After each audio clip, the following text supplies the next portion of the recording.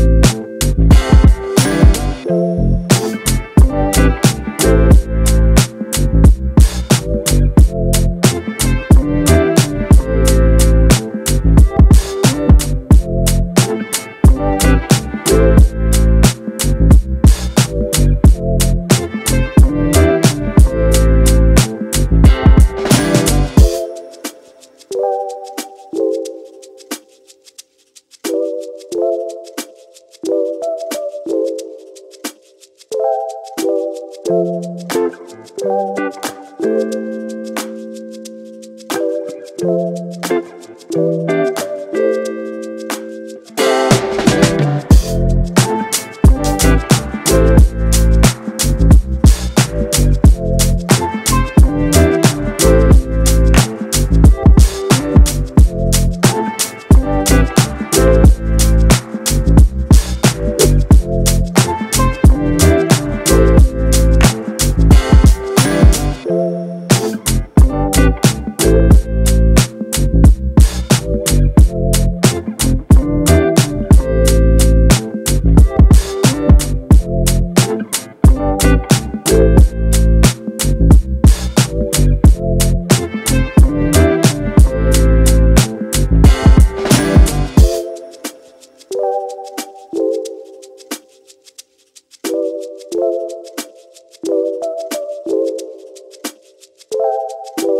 Thank you.